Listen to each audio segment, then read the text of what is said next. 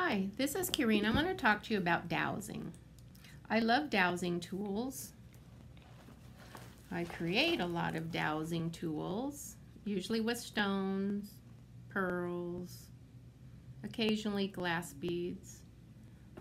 This one here is a, a black onyx, and then there's a snowflake obsidian, and then there's um, one other stone. Sorry, my mind went blank. But I want to show you, when you start dowsing, you have to program your dowsing tool. You have to teach it this is yes, just like you would shake your head if you were talking to someone and answering yes. I like to stop it and then, you know, some people hold it like this and they just wait for it to go to a yes. It's going to. Look how long it takes. That's a pretty nice yes. But me, I like to tell my guides, my angels, this is yes. When I get a yes answer, I don't want to wonder, is that a yes or a no? I simply want it to show me yes. You can stop it at any time and start again. I like to leave it like this. I like to have my hand on a tabletop. I'm starting it and I'm saying yes. Hi self, I want guides, angels. This is when you answer a question for me, this is yes. I watch many people that I teach, and sometimes it goes like this. When it moves like that, I have no idea what it means. You get to decide how this is going to work. So you just sit with your pendulum. I like to wash it first. I like to dry it, and I like to keep it in the palm of my hand. I like to put my energy into the tool that I'm going to use. Before I ever start dowsing, I'm going to make sure my high self, my guides, my angels understand that yes, is back and forth, back and forth. When I get that programmed and I feel satisfied that my guides and angels are working with me, then I'm going to start the no. I'm going to say this is no, and then I'll stop it. I'll start it again. I'll say this is no. Now lots of times I watch people in my class, they'll go like this, and it'll stay and it'll stay. I've been dowsing, you know, since 2000, so mine's going to go no just because I asked it to.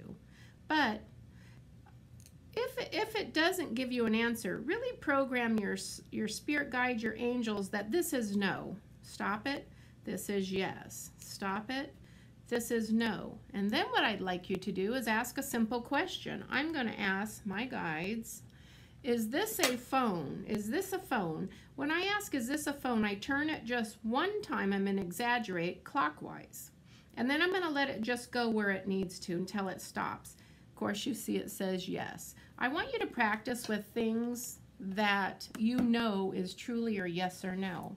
I created this piece of art, so I'm going to ask my guides, did I create this piece of art? As I asked the question, I just spun it. I'm going to exaggerate. I did it clockwise one time, and now I'm going to wait for a yes or no answer. Did I create this piece of art? Yes or no?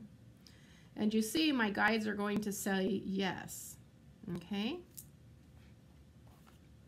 I can ask a question. So I want you to practice with things you know an answer is. So this is a beautiful computer bag that I purchased. And I'm going to ask, my high self committee, is this my phone bag, yes or no? And look, it tells me no because it's not my phone bag. This is actually my computer bag. So I'm going to ask Spirit, is this my computer bag? Yes. Okay. Ask questions that you have specific answers for. Here's my business card. I'm going to ask Source. Is this Karreen's business card, yes or no? We get a yes. Now I'm going to ask, is this a sewing pin? Is this a sewing pin used in sewing, yes or no?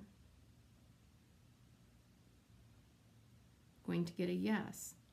Let's say you ask questions and you, you maybe you ask your name. I'm going to ask, is my name Karreen Martin, yes or no? And let's say I get a no. But you know 100% what your name is.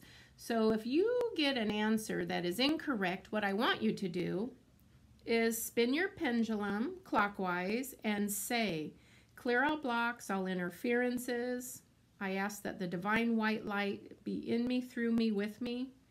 Clear all dark energies and entities. Spiritual kick, spiritual kick, spiritual kick. And let it finish till you get a yes. Meaning you're clear and you're ready. There's my yes. Then I'm going to ask, is this, is this a ballpoint pen? And look, it says no. It is a pen, but it's not a ballpoint pen. So that's how you'll practice every day. What I'd like you to do is get in a habit of washing your dowsing tool once a week. You simply, you can use soap and water. Wash it under cold water, hot water, whatever you like. But just let the water, water is emotions, cleansing emotions, and ask as you wash it that any energies that no longer serve for your highest good be released and cleared. Then you'll take a beautiful towel and you'll dry it.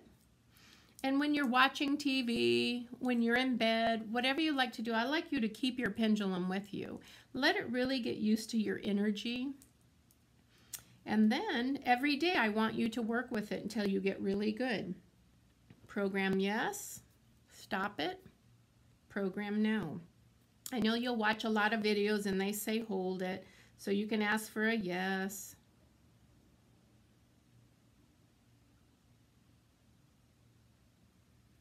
Or you can simply just spin it one time clockwise and say, please show me a yes. Thank you. Stop it. You can do like this, show me a no. You see how long that takes to get going? That's a very nice no, but stop it Ask as you ask your question, spin it one time. Please show me a no, high self. Show me a no. Clear all blocks, all interferences. Thank you. Please, please show me a no. There's my no.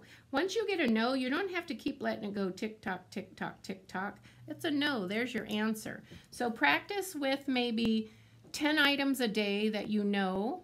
Whether is this my ring? Is this my ring? Is this color green? And if you ask if your nail polish is an opposite color of what you have and you get the correct answer, trust that you're starting to really download information from source and spirit to enhance the quality of your dowsing. So this would just be dowsing number one. If you don't have a gorgeous dowsing tool, it makes no difference. Simply get a thread, put a ring on it, and just practice yes, stop, practice no. Make sure your state of mind is open, that you're feeling of a higher vibration. If you're feeling sad and depressed and down, it's probably not the best thing, but at least hold on to your dowsing tool because maybe the stones that you have have some healing qualities.